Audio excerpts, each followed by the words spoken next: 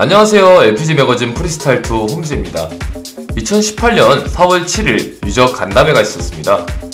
그중 저희 LPG 채널에서 개발진 측에서 발표한 부분들을 크게 세 가지로 정리해 보았는데요.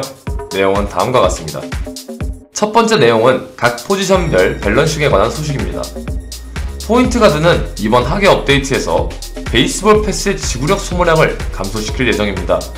다만 단조로운 경기 양상을 피하기 위해 베이스볼 패스 시전 모션 중 스틸이 가능하도록 패치를 고려하고 있다고 밝혔습니다. interrupt 스틸 발동 조건 역시 변경될 수 있다고 개발자 측에서 밝혔으며 수정되는 내용은 다음과 같습니다.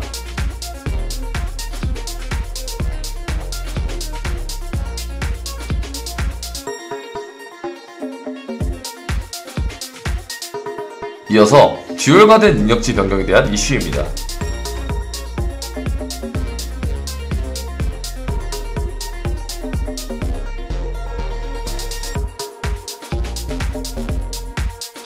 다음은 슈팅가드 포지션 제이크 캐릭터에 관한 overbalance 문제에 대한 개발자 답변입니다.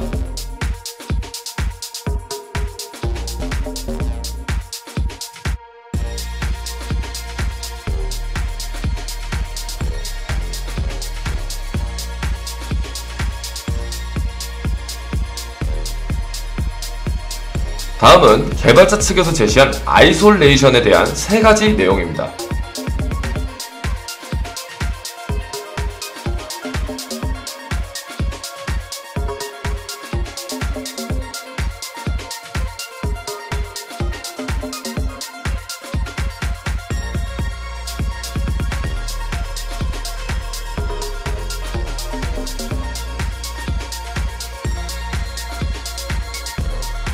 다음은 개발자가 밝힌 말렙 확장과 전직 시스템에 대한 이슈입니다.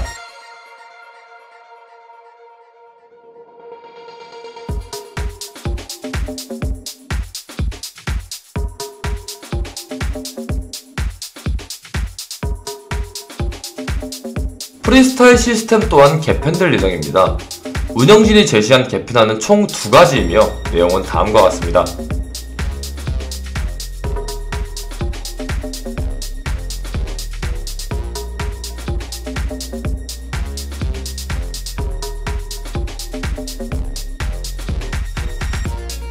불안정한 서버 상태는 언제나 논란거리였는데요.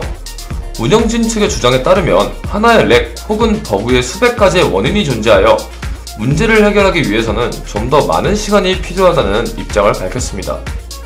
또한 연구제재 및 15일 정지 대상자들의 처분에 대한 개발자 답변을 정리하자면 현재 연구제재를 당한 유저는 능력치 조작 및 불법 프로그램을 사용한 기록이 감지되었지만 15일 제재를 당한 유저의 경우 보안 프로그램의 이상 프로그램 사용이 감지되었으나 능력치 조작 등등 문제되는 점이 없기에 이러한 결정을 내렸다고 입장을 밝혔습니다. 이상으로 2018년 4월 7일 하계 업데이트 간담회 소식을 모두 마치도록 하겠습니다. 위 영상에 관하여 궁금하신 질문사항은 댓글로 질문해주시고 구독하기와 좋아요는 저희들에게 큰 힘이 되니 꼭 눌러주시면 감사드리겠습니다. 시청해주셔서 감사합니다.